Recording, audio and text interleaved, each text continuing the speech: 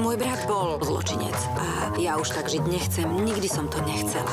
Chcem si iba nájsť prácu a priateľov. Chcem len skromne žiť. Aby dosiahla svoj skutočný cieľ, Šperky zo sejfu 15 metrov pod zemou. Ako ich dostaneš von?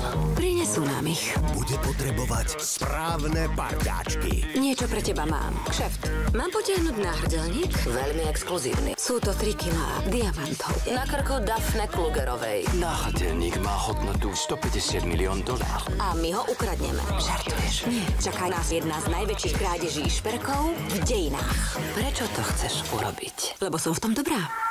8 sexy lupičiek.